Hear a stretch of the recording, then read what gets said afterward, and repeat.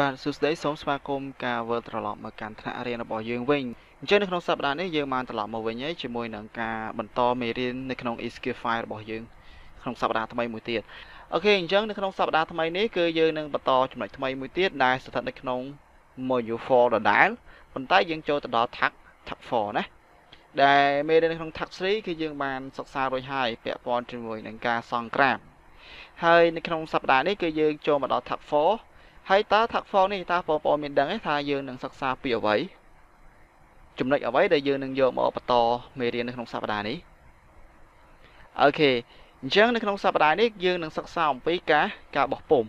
អញ្ចឹងការបោះពុម្ពបើយើងនិយាយជាភាសាអង់គ្លេសគឺចង់សំដៅទៅលើការទៅលើការ print ហើយការ print នៅក្នុងកម្មវិធី Excel គឺមានលក្ខណៈខុសពីការ print នៅក្នុងកម្មវិធី Word បន្តិចណាអញ្ចឹងដើម្បីកុំឲ្យខាត់ពេលយូរយើងចូលទៅកាន់មេរៀនតែម្ដងណា អញ្ចឹងមេរៀនលោកគ្រូគឺលោកគ្រូបានបើកនៅក្នុងមេរៀន slide PowerPoint រួចហើយអញ្ចឹងនៅក្នុងសប្តាហ៍នេះគឺយើងសិក្សាអំពី module 4ដដែលគឺពាក់ព័ន្ធជាមួយនឹង formatting number ឯចំណុចដែលថ្មីគឺយើងនឹងសិក្សាអំពី tab 4ដែលចំណងជើងនៃ tab 4នេះគឺចង់សម្ដៅទៅលើ print a sheet អញ្ចឹងវាថា print បងប្អូនអរគ្នាប្រកាសជាស្គាល់ហើយគឺមានន័យថាការបោះពុម្ព ពាក្យថា sheet គឺចង់សំដៅទៅលើផ្ទាំងកិច្ចការឬក៏សញ្ញាកិច្ចការដែលស្ថិតនៅក្នុងកម្មវិធីកម្មវិធី Excel ណាអញ្ចឹងយើងបន្តទៅមុខអញ្ចឹងមុននឹងយើងចូលមកដល់មេរៀននេះគឺលោកគ្រូមានសំណួរមួយចង់សួរទៅកាន់បងប្អូនទាំងអស់គ្នាសួរថាតើយើងប្រើប្រាស់ print ដើម្បីអ្វីយើងប្រើប្រាស់ print គឺដើម្បីបោះពុម្ពឯកសារឬកិច្ចការរបស់យើងចេញមកខាងក្រៅ អញ្ចឹងមានន័យថាបើសិនជាបងប្អូនទាំងអស់គ្នាចង់ឲ្យឯកសារដែលបងប្អូនបានបង្កើតរួចនៅក្នុងកម្មវិធី Word ឬក៏ក្នុងកម្មវិធី Excel បងប្អូនចង់ឲ្យកិច្ចការនោះចេញមកខាងក្រៅដែលបងប្អូនទាំងអស់គ្នាអាចយកទៅប្រើប្រាស់បាន គឺបងប្អូនត្រូវប្រើការ print ណាអញ្ចឹងយើងបន្តមកខាងក្រោមទៀតជាធម្មតាកិច្ចការដែលយើងបានបង្កើតហើយនៅក្នុងកម្មវិធី Microsoft Excel ពេលខ្លះយើងក៏ត្រូវការបោះពុម្ពចេញមកខាងក្រៅដែរប៉ុន្តែមុននឹងយើងធ្វើការបោះពុម្ពចេញ យើងក៏ត្រូវដឹងពីរបៀបកំណត់លក្ខណៈផ្សេងផ្សេងជាមុនសិនទើបការបោះពុម្ពរបស់យើងចេញមកបានត្រឹមត្រូវអញ្ចឹងយើងចូលមកដល់ចំណុចទី1ចំណុចទី1នេះគឺយើងនឹងសិក្សាអំពី margin អញ្ចឹងនិយមន័យរបស់ margin ដែលលោកគ្រូបានបង្ហាញបងប្អូននៅក្នុងអត្ថបទនេះគឺដាក់ថា margin គឺជាគែមក្រដាស់ដែលនៅសល់ពតជុំវិញនៃសញ្ញាកិច្ចការរបស់យើង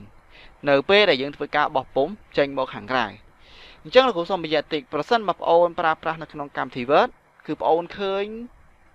ហ្គេមដែលនៅសល់ឬក៏គេអាចថាយើងឃើញ margin ដែលនៅសល់ជុំវិញកណ្ដាស់យើងឃើញណាប៉ុន្តែដែល like នៅក្នុងកម្មវិធី Excel គឺយើងមិនអាចឃើញ game margin ដែលនៅសល់ទេយើងអាចឃើញនៅត្រាតែយើងធ្វើការបោះពុំចេញមានន័យថាពេលបងអូនចូលទៅកាន់កន្លែងបោះពុំទើបបងអូនឃើញ game ដែលនៅសល់ជុំវិញកណ្ដាស់ប៉ុន្តែបើសិនជាបងអូនស្ថិតនៅ ផ្ទាំងកិច្ចការដែលយើងវាយនៅក្នុងកម្មវិធី Excel គឺយើងអត់ឃើញ margin ទេលោកគ្រូសូមបញ្ជាក់លេងច្បាស់តោះយើងបន្តទៀតយើងអាចធ្វើការកំណត់ margin បានដោយយើងត្រូវអនុវត្តដូចខាងក្រោមណាអញ្ចឹងយើងចូលមកដល់ step ណា step លោកគ្រូមានទាំងអស់ច្រើនដែរចូល6 step កន្លែងនេះអញ្ចឹងជំហានទី1នេះក៏ដំណាក់កាលទី1ដំបូងយើងត្រូវចុចនៅលើ page layout tab ជាមុនសិនរួចចុចយកអាយពាក្យថា margin បន្តមកទៀតជ្រើសរើសយកប្រភេទណាមួយដែលកម្មវិធី Excel ហ្នឹងគឺមានការកំណត់ស្រាប់ឲ្យយើងហើយឲ្យយើងអាចជ្រើសរើសយកប្រភេទណាមួយក៏បានដែរឬចុចយកពាក្យថា custom margin ណាមានថា custom margin ដែលគឺជាការកំណត់ margin មួយដោយខ្លួនយើងផ្ទាល់មានថាយើងផ្ដល់តម្លៃដល់ខ្លួនឯងអញ្ចឹងយកដល់ដំណាក់កាលទី3នោះគេនឹងបង្ហាញផ្ទាំងមួយយើងប្រសិនបើបងប្អូនទាំងអស់គ្នាចុចយកពាក្យថា custom អញ្ចឹង ចូលមកដល់ដំណាក់កាលទី3នេះគឺគេនឹងបង្ហាញផ្ទាំងមួយយើងឃើញតែម្ដងបន្តមកទៀតចុចយកពាក្យថា margin tab ចូលដល់ដំណាក់កាលទី4រួចធ្វើការកំណត់តម្លៃលើក្រោមឆ្វេងស្ដាំមានន័យថាយើងធ្វើការកំណត់តម្លៃ margin អញ្ចឹងតម្លៃ margin គឺមាន4ណាទី1គឺផ្នែកខាងលើ ទី2គឺផ្នែកខាងក្រោម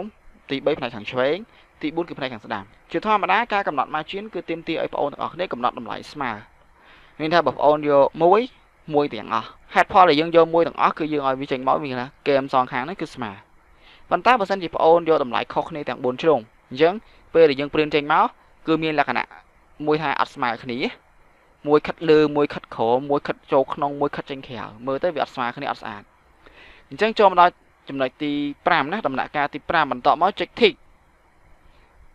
នៅត្រង់ horizontally និង vertically ណាដល់ពេលចំណុចចុងក្រោយគឺយើងគ្រាន់តែចុចយកពាក្យថា OK ជាការស្រេច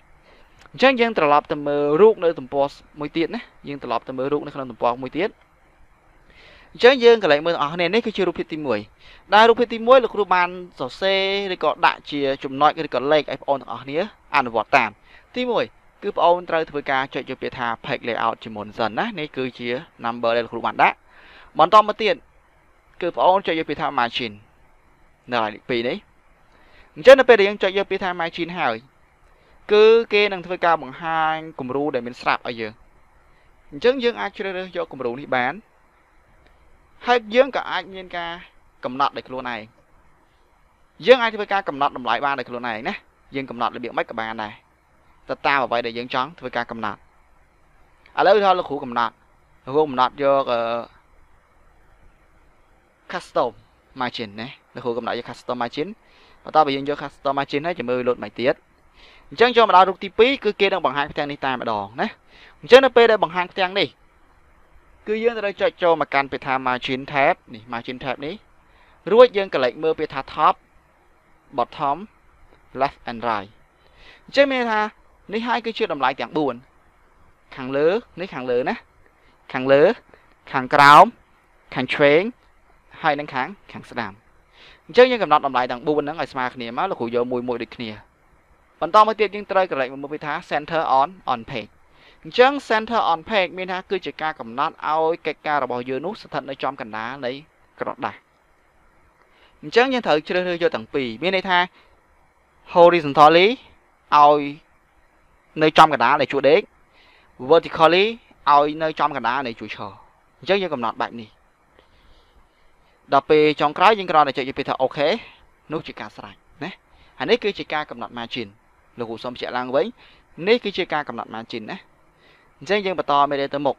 អូខេអញ្ចឹងយើងចូលមកដល់ចំណុចទី2គឺយើងនឹងសិក្សាអំពី orientation អញ្ចឹងយើងចាប់ផ្ដើមមកអានខាងក្រោមទាំងអស់គ្នាជាទូទៅយើងអាចធ្វើការបញ្ចូលទិន្នន័យបានជាច្រើនចូលទៅក្នុងកម្មវិធី Microsoft Excel ហើយពេលខ្លះទិន្នន័យរបស់យើងក៏មានការឆ្លងទំព័រដែរនៅពេលដែលយើងចង់ធ្វើការបោះពុម្ពចេញ ដូច្នេះយើងអាចធ្វើការផ្លាស់ប្ដូរទម្រង់នៃការបោះពុម្ពនោះបាន ដោយបដូរពីទម្រង់អីគេ ដោយបដូរពីទម្រង់បញ្ឈរមកជាទម្រង់ផ្ដេកវិញអញ្ចឹងលោកគ្រូសូមបកស្រាយបន្តិចកន្លែងនេះជាធម្មតាការវាយបញ្ចូលទិន្នន័យរបស់យើងនៅក្នុងកម្មវិធី Excel ពេលខ្លះយើងមានច្រើនអញ្ចឹងនៅពេលដែលយើងមានច្រើនយើងវាយបញ្ចូលទៅវាអត់មានបញ្ហាឯពេលដែលយើងកំពុងតែវាយនោះប៉ុន្តែនៅពេលដែលយើងធ្វើការបោះពុម្ពចេញអញ្ចឹងការបោះពុម្ពចេញគឺនៅក្នុងកម្មវិធី Excel គឺមានការកំណត់ អាចឲ្យយើងព្រិនជាលក្ខណៈជួឈរអញ្ចឹងការបោះពុម្ពចេញជាទម្រង់ជួឈរនោះគឺมันគ្រប់គ្រាន់សម្រាប់ឯកសាររបស់យើងអញ្ចឹងយើងអាចធ្វើការផ្លាស់ប្ដូរពីទម្រង់ជួឈរឬក៏ទម្រង់មិនឈរមកជាទម្រង់ផ្ដេកវិញណាអញ្ចឹងនេះគឺយើងអាចធ្វើការផ្លាស់ប្ដូរបានដោយដើម្បីអាចឲ្យយើងផ្លាស់ប្ដូរបានយើងកលេចមើលខាងក្រោមណាដើម្បីអាចឲ្យយើងផ្លាស់ប្ដូរបាននោះយើងត្រូវអនុវត្តដូចខាងក្រោមទី1យើងត្រូវចុចលើពាក្យថា page layout tab ជាមុនសិន ចូលដល់ដំណាក់កាលទី2បន្ទាប់មកចុចលើពាក្យថា orientation រួចជ្រើសរើសយកទម្រង់ណាមួយដែលយើងចង់បានអញ្ចឹងមានន័យថានៅពេលដែលយើងចុចលើពាក្យថា orientation នោះគេនឹងបង្ហាញជំរើសឲ្យយើងចំនួន2ដោយជំរើសទី1លោកគ្រូបានសរសេររួចរាល់ហើយគឺ portrait ជាការបោះពុំជាទម្រង់បញ្ឈរណាហើយទី2គឺ landscape ជាការបោះពុំជាទម្រង់ផ្ដេកអញ្ចឹងលោកគ្រូសូមបញ្ជាក់តិចណានៅត្រង់ចំណុចនេះជាធម្មតានៅក្នុងកម្មវិធី Excel គឺគេកំណត់ឲ្យយើងបោះពុំជាជួឈរ អញ្ចឹងបងប្អូនមិនកំណត់ឬក៏បងប្អូនកំណត់គឺអាស្រ័យលើបងប្អូនណាគាត់ដែរលោកគ្រូបញ្ជាក់ច្បាស់ថាការកំណត់ជាស្តង់ដាររបស់កម្មវិធី Excel មានថាគឺគេកំណត់ជាឈរអញ្ចឹងយើងត្រឡប់ទៅមើលរូបភាពបន្តអញ្ចឹងរូបភាពកន្លែងនេះគឺលោកបានបង្ហាញអីគឺទី1គឺយើងចុចជាពាក្យថា page layout បន្តមកទៀតយើងចុចជាពាក្យថា orientation រួចយើងមានជំរើស2បងប្អូនអាចយកពាក្យថា portrait ក៏បានបងប្អូនអាចយកពាក្យថា landscape ក៏បានណា យកមួយណាក៏បានដែរគ្រាន់ថាមួយជាជួឈរមួយជាជួដេកមួយជាប្រភេទបញ្ឈរមួយទៀតជាប្រភេទប្តីអូខេអញ្ចឹងបន្តទៅមុខមួយទៀតយើងចូលដល់ចំណុចទី3សិក្សាអំពី print selection អញ្ចឹងពាក្យថា print selection មានន័យគឺជាការជ្រើសរើសនៃការបោះពុម្ពរបស់យើងមានអាចនិយាយបានថាគឺជាការកំណត់អញ្ចឹងយើងក៏លេខមកមើលពាក្យខាងក្រោមដែលលោកគ្រូបានសរសេរជាធម្មតាយើងមានតារាងទិន្នន័យមួយ ដែលចង់ធ្វើការបោះពុំចេញមកខាងក្រៅអញ្ចឹងដើម្បីអាចឲ្យយើងធ្វើការបោះពុំបាននោះយើងត្រូវធ្វើការកំណត់ដូចខាងក្រោមទី1យើងត្រូវចុចយកពាក្យថា file tab ក្រោយពីយើងចុចយកពាក្យថា file tab ហើយយើងចុចយកពាក្យថា print ឬក៏យើងអាចប្រើ shortcut ដែលយើងចុចថា control បូក control បូក p ណាយើងអាចចុចផ្លូវកាត់បាន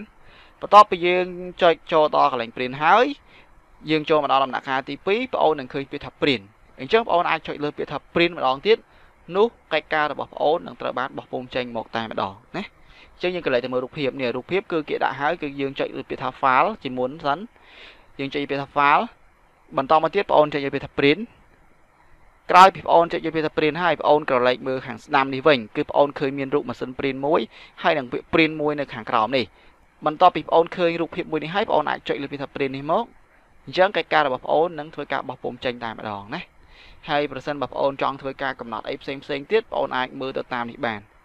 គ្រាន់តែលោកគ្រូអាចប្រាប់បានប្រហែលចំណុចទី1នៅត្រង់កន្លែងវាថា copy នេះគឺជាចំនួនដែលបងអូនចង់បានឧទាហរណ៍ថាបងអូនចង់បានកិច្ចការនេះគឺចំនួន5សន្លឹកអញ្ចឹងបងអូនចុចចូលនៅក្នុងកន្លែងលេខ1នេះបងអូនដាក់ថាលេខ5វិញលុបលេខ1ដាក់លេខ5អញ្ចឹងពេលដែលបងអូនចុចបោះពុំនោះកិច្ចការរបស់បងអូននឹងចេញ5ទំព័រតោះណា អូខេអញ្ចឹងនៅក្នុងមេរៀននេះគឺលោកគ្រូបានបង្ហាញអស់ហើយហើយយើងឥឡូវយើងត្រឡប់ចូលទៅមើលការអនុវត្តផ្ទាល់នៅក្នុងលំហាត់អនុវត្តតែម្ដងណាអញ្ចឹងយើងអាចបើកកម្មវិធី Microsoft Excel មកអញ្ចឹងបន្ទាប់ពីយើងបើកហើយយើងបើកស្លឹកកិច្ចការរបស់យើងយើងបើកលំហាត់ពីអាទិត្យមុនដែលយើងបានធ្វើហើយណាចុចយកពាក្យថា file រួចយើងយកពាក្យថា open នេះ open មកបើសិនជាយើងហ្នឹងឃើញកិច្ចការរបស់យើងនៅកន្លែងនេះហើយយើងអាចចុចយកកន្លែងនេះក៏បានដែរ អញ្ចឹងលោកគ្រូចុចយកពាក្យថា exercise chart អញ្ចឹងនេះគឺកិច្ចការរបស់លោកគ្រូកាលពីសប្តាហ៍មុនហើយអញ្ចឹងនៅក្នុងសប្តាហ៍នេះគឺយើងបានសិក្សាអំពីអីគេទី1គឺ margin ទី2សិក្សាអំពី orientation ទី3គឺសិក្សាអំពី print អញ្ចឹងយើងយកចំណុចទី1យកមកសិក្សាសិនណាគឺពាក់ព័ន្ធជាមួយនឹង margin អញ្ចឹងបងប្អូនទាំងអស់គ្នាមានឃើញ margin ទេបាទគឺអត់ឃើញទេអញ្ចឹងដើម្បីឲ្យយើងឃើញ margin បានគឺបងប្អូនត្រូវចុចពីថា page layout page layout tab នេះជាមុនសិន បន្តមកទៀតបងអូនចុចយកពាក្យថា margin អញ្ចឹងយើងកន្លែងនេះយើងអត់ចង់យកអ្វីដែលមានស្រាប់ទេគឺយើងចង់ចូលទៅកំណត់ឲ្យខ្លួនឯងអញ្ចឹងយើងអាចចុចយកពាក្យថា custom margin ហើយយើងអាចធ្វើការជ្រើសរើសយកតម្លៃដែលខ្លួនឯងពេញចិត្តអញ្ចឹងលោកគ្រូអាចជ្រើសរើសយកអីគេលោកគ្រូអាចជ្រើសរើសយកថា top នេះលោកគ្រូលុបចោលចុចយើងយកម៉ៅរបស់យើងចុចចូលក្នុងប្រអប់នេះមកយើងចុច backspace លុបមកហើយយើងដាក់លេខ1ខាងក្រោមនេះលុបដូចគ្នា លេខ1ឆ្វេងលុបលេខ1ស្ដាំលុបលេខ1បន្ទាប់ពីលោកគ្រូបានបដូរលេខនេះហើយលោកគ្រូធ្វើគេទៀតលោកគ្រូត្រូវក្រឡេកមកមើលកន្លែងពាក្យថា center on page អញ្ចឹង center on page យើងក្រឡេកមើលរូបភាពនេះទាំងអស់គ្នាណាអញ្ចឹងរូបភាពនេះគឺបង្ហាញយើងឃើញហើយគឺកិច្ចការរបស់យើងស្ថិតនៅផ្នែកខាងលើហើយនិងផ្នែកខាងឆ្វេងអញ្ចឹងដើម្បីឲ្យកិច្ចការរបស់យើងនេះស្ថិតនៅចំកណ្ដាល នៃចំកណ្ដាលនៃក្រដាសរបស់យើងគឺយើងចុចជាពាក្យថា horizontal អញ្ចឹងចាំកន្លែងមើលទាំងអស់គ្នានៅពេលដែលគ្រូចុចពាក្យថា horizontally អើអរគ្រូដោះវិញកិច្ចការនេះខាត់ខាត់ពីឆ្វេងចូលមកខាងកណ្ដាលតិចចុះលោកគ្រូចុច vertically ណែហ៎ធ្លាក់ពីខាងលើមកចំកណ្ដាលតែម្ដងអាហ្នឹងគឺបែបហ្នឹងអញ្ចឹងបន្តមកទៀតបន្តពីយើងកំណត់នេះហើយនិយាយពីថាអូ OK អញ្ចឹងក្រោយពេលដែលគ្រូបានកំណត់ឲ្យបងប្អូនទាំងអស់គ្នាមានឃើញសញ្ញាបន្ទាត់ចុចចុចនេះនេះត្រែត្រែត្រែនេះអញ្ចឹងអាសញ្ញាបន្ទាត់ត្រែត្រែនេះហើយគឺជាកន្លែងមួយកំណត់ថាកិច្ចការរបស់យើងគឺបានបង្ហាញត្រឹមចំណុចហ្នឹងតោះណា OK អញ្ចឹងនេះគឺជាចំណុចទី1 OK អញ្ចឹងនេះគឺជាការបង្ហាញនៅចំណុចទី1មេរៀនទី1របស់យើងណាហើយឥឡូវយើងចូលដល់ចំណុចទី2គឺយើងនឹងសិក្សាអំពី orientation អញ្ចឹងនៅក្នុងចំណុចទី2 orientation នេះគឺយើងចូលមកកាន់កន្លែង page layout ដូចគ្នាបន្តមកទៀតបងអូនចុចពីថា orientation អញ្ចឹងកន្លែងនេះគឺកំណត់ឲ្យជាប្រភេទបញ្ឈរជាទម្រង់បញ្ឈរអញ្ចឹងបើសិនជាលោកគ្រូចង់បានផ្ដេកលោកគ្រូគាត់จะយកពីអីគេ land landscape ណាអញ្ចឹងបងអូនមើលទាំងអស់គ្នានេះឃើញទេមានការប្រែប្រួលអត់អញ្ចឹងលោកគ្រូយកបញ្ឈរគឺងាកបានប៉ុណ្ណេះកិច្ចការរបស់យើងណាលោកគ្រូ zoom ឲ្យទូចឲ្យមើលនេះនេះនេះគឺជាមួយ page ដែលស្ថិតនៅក្នុង កម្មវិធីរបស់យើងតោះណាអូខេតោះឥឡូវយើងបន្តអញ្ចឹងយើងចូលមកដល់កន្លែងមួយទៀតគឺសិក្សាអំពីការ print ណាសិក្សាអំពី print selection ដើម្បីអាចយើងធ្វើការបោះពុម្ពឯកសាររបស់យើងបានទៅទី1គឺយើងត្រូវចុចយកពាក្យថា file បន្តមកទៀតបងអូនចុចយកពាក្យថា print នេះ print ណាចុចយកពាក្យថា print អញ្ចឹងបងអូននឹងឃើញស្លឹកកិច្ចការរបស់បងអូននេះនៅចំផ្នែកកណ្ដាលតែម្ដងហើយកន្លែងណាដែលជា margin នេះ margin របស់យើងសងហាងនេះនេះបើសិនជាយើងចង់ឃើញបងអូនអាចចុចនៅកន្លែង show margin នេះមកនេះគឺបងអូនឃើញនេះនេះនេះហើយគឺជា margin ដែលនៅក្នុងកម្មវិធី Excel គឺយើងមើលឃើញទេប៉ុន្តែបើសិនជាយើងមើលនៅក្នុងកម្មវិធីនេះវិញគឺយើងមើលឃើញណាOK អញ្ចឹងនៅក្នុងកន្លែងនេះគឺយើងអាចចុចជាពីថា print តែម្ដងបើសិនជាយើងចង់ធ្វើការបោះពុំចេញណាអាហ្នឹងបើយើងចង់ធ្វើការបោះពុំចេញយើងក៏អាចចុចយក print យើងចុចយកពីថា print មកគឺ OK ហើយគឺយើងអាច print ស្លឹកកិច្ចការរបស់យើងចេញបានណា ហើយនេះគឺចំនួនដែលយើងចង់ធ្វើការបោះពុំចេញបើសិនជាបងអូនចង់បាន5បងអូនលុបចោលមកបងអូនដាក់លេខ5មកហើយបងអូន print មកគឺកិច្ចការរបស់បងអូនគឺចេញមក5សន្លឹកហើយតោះនេះបងអូនហើយមកផ្នែកខាងក្រោមនេះគឺយើងអាចធ្វើការកំណត់បានច្រើនទៀតដែលកន្លែង printer នេះគឺជាកន្លែងកំណត់ម៉ាស៊ីន print បើសិនបើម៉ាស៊ីនកុំព្យូទ័ររបស់បងអូនមានពាក់ព័ន្ធឬក៏មានការ connect ជាមួយនឹងម៉ាស៊ីន print ជាច្រើន គឺបងអូនអាចធ្វើការជ្រើសរើសយកឈ្មោះម៉ាស៊ីន print ណាមួយដែលបងអូនចង់ឲ្យធ្វើការបោះពុម្ពចេញបានណាកន្លែង printer នេះហើយសម្រាប់ឯ page នេះគឺបងអូនចង់ឲ្យ print ពី page ទីម៉ាន page ទី1រហូតដល់ page ទី3អាហ្នឹងគឺជាការកំណត់របស់យើង page 1 page 2 page 3គឺឲ្យវាចេញ3 page តោះណាអូខេហើយនៅកន្លែង no scaling ណា no scaling នេះកន្លែងនេះគឺជាការព្រមកិច្ចការរបស់យើងប្រសិនបើកិច្ចការរបស់យើងនេះមានការឆ្លងទៅកាន់ទំព័រផ្សេងទៀតប៉ុន្តែយើងចង់ធ្វើការកំណត់ឲ្យកិច្ចការរបស់យើងនឹងស្ថិតនៅក្នុងទំព័រតែមួយគឺបងអូនគ្រាន់តែចុចយកពាក្យថា no scaling យកពាក្យថា fit sit on one page កំណត់ឲ្យ sit មានថាកំណត់ឲ្យកិច្ចការរបស់បងអូនទាំងអស់នោះឲ្យចូលមកក្នុង page តែមួយឲ្យចូលមកក្នុងក្រដាស់តែមួយអានឹងយើងអាចយកពាក្យថា fit sit on one page ណា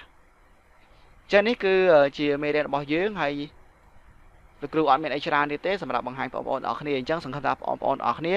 នឹងព្យាយាមស្វែងយល់មេរៀននេះបន្តទៀតដោយសារតែនេះគឺជាកម្មវិធី Excel ហើយបើបងប្អូនចង់ចេះច្បាស់គឺបងប្អូនព្យាយាមអនុវត្តឲ្យបានច្រើនណាអញ្ចឹងលោកគ្រូអត់មានអីបន្ថែមទៀតទេអញ្ចឹងមានតែអរគុណច្រើនជូនពរអ្នកទាំងអស់គ្នាឲ្យសំណាងល្អអញ្ចឹងលោកគ្រូសូមជម្រាបលាណាអរគុណច្រើនបាយបាយ